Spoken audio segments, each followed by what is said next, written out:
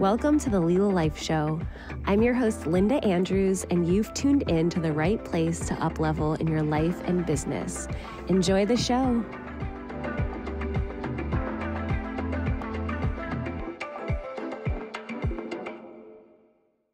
Welcome to the Lila Life Show. I'm your host, Linda Andrews, and I'm happy to be with you right now.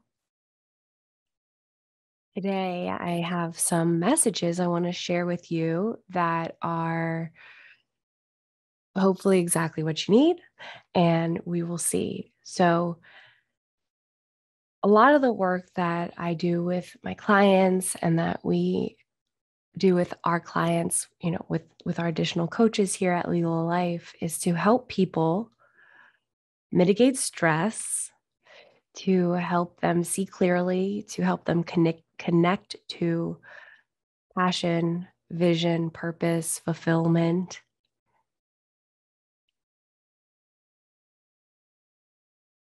I heard this recently feel full or fulfillment. feel full, feeling full, right? Moving through life looking to feel full uh, versus fulfill. What's filling you up? Full. Kind of fun with words. Um, which reminds me of a time in my life where I felt so empty and I was using food to feel full. And this is just one of the many ways a person can try to feel full. What are some other ways? Alcohol could be one, maybe different drugs, uh, consumerism, materialism, technology. We see work addiction. Uh, and then just even different emotional homes, say chaos, uh, distraction, uh, just these lower lower energy spaces. So, what in the world is going on? Isn't that a funny question? What in the world is going on? When we look outside for the answer of what in the world is going on, we are at the whim of all the possible answers of what in the world is going on when we tune in, and last week I was talking a lot about embodiment and empowerment, um, we may find a different answer. So, some of the things that I just want to start by saying, and, and use this as your own litmus test of, huh, yeah, wow, okay, interesting, right? If anything is like, oh, I want to know more about that know more about it. So let me tar- uh, paint a, a, a dark picture for a moment, okay? Hang with me. We have our soils being depleted of nutrients and uh, being ravaged by toxins and pesticides, similar to a lot of our water, which which connects us to pesticides, uh, pesticides also in our food, the processed food with its own slew of maybe different chemicals, uh, the role of technology, both from a standpoint of EMFs coming out out from the tech, like uh, the elect- electromagnetics of the tech technology, and also the information that we're receiving through the technology which leads us into this cycle of consumerism and materialism. You know, I've heard this many times before, and I don't know why I keep buying these things. I've I've done this, uh, and and some of these algorithms that are just so tapped in to you, maybe more than sometimes you even feel. Underlying conditions that people may not even know about, right? Uh, known as comorbidities, uh, obesity at all time high, childhood obesity at all time high, uh, and, and a control of ideas and media where, um, you know, do we really know where the ideas are coming from? This question that I think is really important is why do you think what you think? You know, sometimes we can hold so deeply to these thoughts and beliefs without looking under the hood and seeing what, who, when, where, why, how are these connected Can, and, and, and, and coming through me? Is it uh, past trauma that has made a certain lens in which you see the world, which is where these ideas are coming from?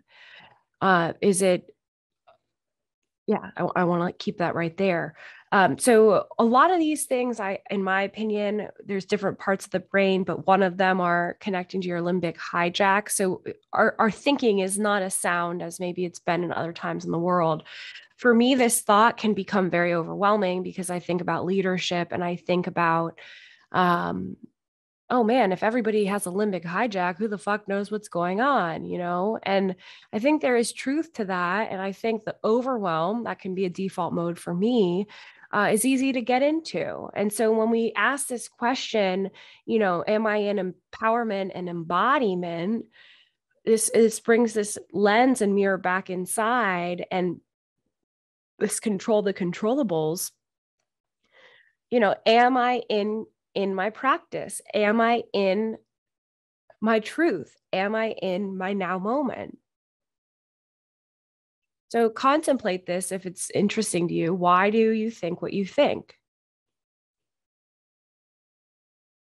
We've had a couple different episodes over time about death. You know, can we accept quote unquote death?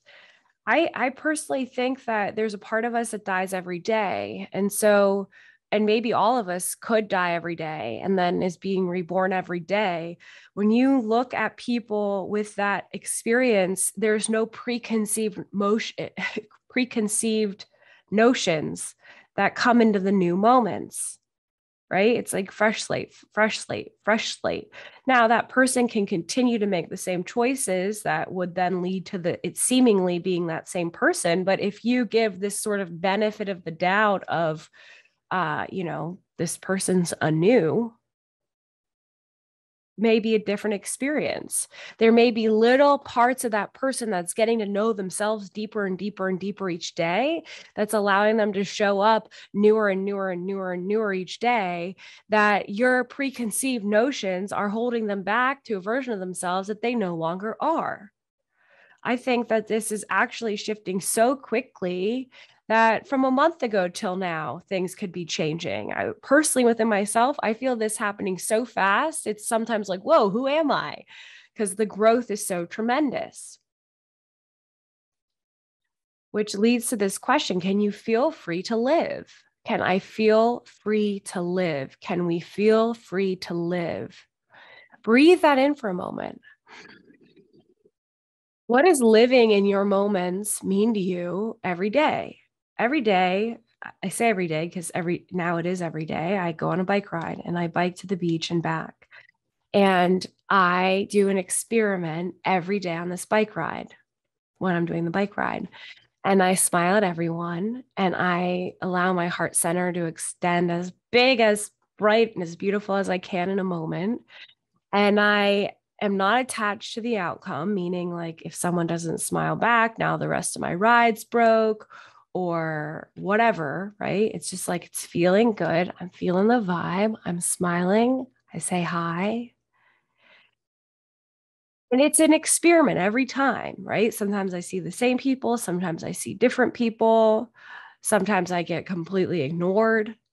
And so, what I'm managing during that experience is my state and the ability of myself to let my state be impacted by someone else, right? So, for example, I'm being ignored on the bike ride by someone I just smiled to. I took the time to smile to, and they're ignoring me. And I'm like, what the fuck?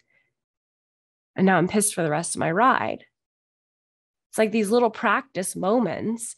And so every day I get to be free to practice, practice living, practice living, also known as living. You know, how fully immersed in my moment can I be in every moment?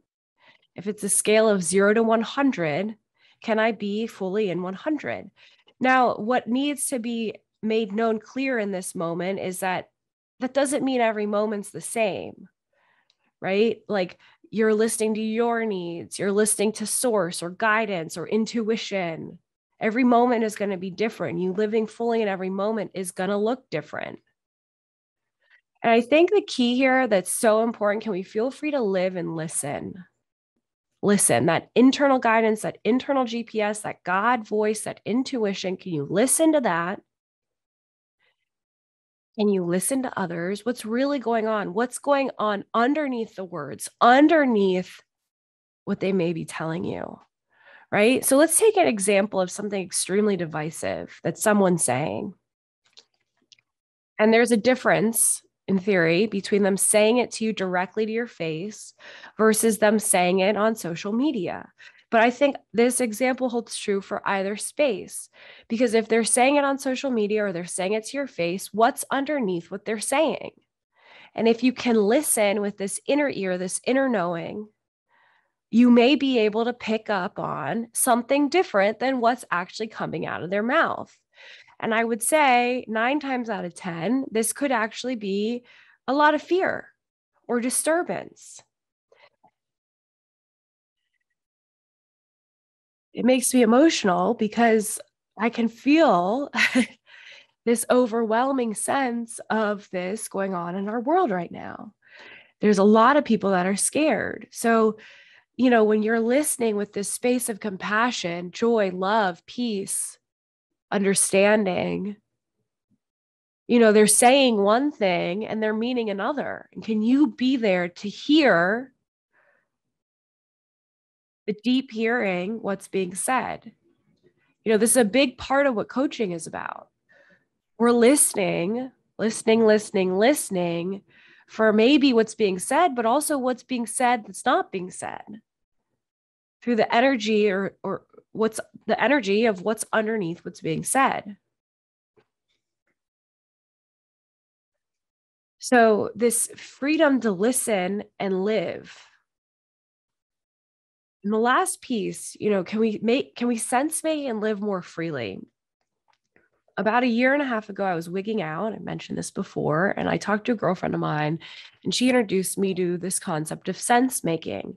I then went on to uh, take a sense making 101 course, an avid follower of Daniel Schmachtenberger and Charles Eisenstein, where I'm a true believer that these are some of our greatest thinkers of our time, and not because they are necessarily so special, but they unlock the genius that is available in all of us yes, I do consider myself a genius, as do I consider you one. It's just about how much we're tapping into that. And so, this invitation to sense make, making sense of the world around us. This is not accepting everything as rote. It is making sense of the world around us. When this is done from a space of connection to self, source, God, intuition, fill in your blank, and from a space of integrity and a, a space of empowerment, embodiment, making sense of the world and living more freely, living 100% in your now moment and making sense of the world and being in this practice. When are you not doing this? You're not doing this when it is just on autopilot when it's autopilot. Well, I do that because that's why I do that. Well, why? Right? You know, kids, they're gifted at this. I still tap into this as much as I can. I'm sure I annoy the shit out of people sometimes, but why? Why? Why? Why? Why? But why? Why? Why? I want to understand. For me personally, I can give you a thousand percent buy in if I understand why and it makes sense to me. And this is this active practice of sense making. You know, a, an exercise that I like to do that also could be quite maddening for some is like, could the inverse of everything be true? And that could be just as true as everything else. It's like it loosens up the fixation of some of the other things that we're accepting as true. Can we make sense and live more freely? So, here are some practical uh, invitations that you'll hear regular because there's nothing that exciting going on. Uh, but what I think is the big difference is the engagement. Are you doing this or not? And where you're not is an invitation to do it. Nourishing yourself with food and water. Uh, you know, take this a step further. Can you engage with your local farmer? Can you get curious about their farming practices, what soil they're using? Our food is coming from somewhere. You may follow economics and geopolitics and be concerned about the supply chain, or you may not know what any of that means. Either way, understanding what your local farmer's up to, what they're doing with their soil is a great practice to be engaged in. There could be a CSA, community shared agriculture, where you could grow your own food, or you can also be purchasing food boxes boxes to work off of the box this that that month. Uh, you know, there's a lot more I could say about the food piece that I won't. Maybe we'll have another future episode. And I know there's past episodes about this. But the point being, nourishing food and water. The water, uh, you know, whether you're getting glass bottled spring water delivered, blah, blah, glass bottled spring water delivered because you don't trust your local water source or you have a filtration system. Something to be aware of is the plastics, right? The plastics that are happening with your water. Uh, meaning, like, if your water's traveled in plastic and it's especially been heated over a certain threshold, say because it's hot, and there's going to be this off gassing of the plastic into the water known as leaching, and then your body is digesting this, it's going to be problematic for your system over time. Right. So, nourishing food and water, regular movement, movement. This could be walking. Okay. Let's get back to the basics. If you have hold up and have not been moving, start with walking. Start with something that you love. Take five minutes to dance with your favorite song. I've listening to that song, I Got to Be Real. Sometimes I like to send my family my favorite, uh, my favorite song. Cheryl Lynn, Got to Be Real, throwback. Breathing. You know, if, if I don't talk about this every show, I don't know what I'm doing. Inhaling through the nose, exhaling through the mouth or nose, drawing that breath into your low abdomen, filling up your lungs, feeling your rib cage expand, feeling your chest expand, and exhaling. Meditation, prayer, quality thoughts connection to source and belief system, regular check in around values, priorities, and alignment, connection to self and others, and forgiveness. Forgiveness. This is for you. The forgiveness is for you meaning two things. One is you may actually have a lot of self forgiveness to be tapping into, which is amazing. Number two is when you are forgiving others, you you are reaping the benefits of that. Noticing stressors and mitigating them. What is adding more stress in your life and simplifying? You want to do a practice? This is a beautiful ongoing practice one simple example that could be powerful to eliminate your life is there a person that you find yourself in contention with regularly? I double dog dare you to be like an oak tree and just freaking root down into yourself and let whatever they're saying that could be provoking for you just move through you.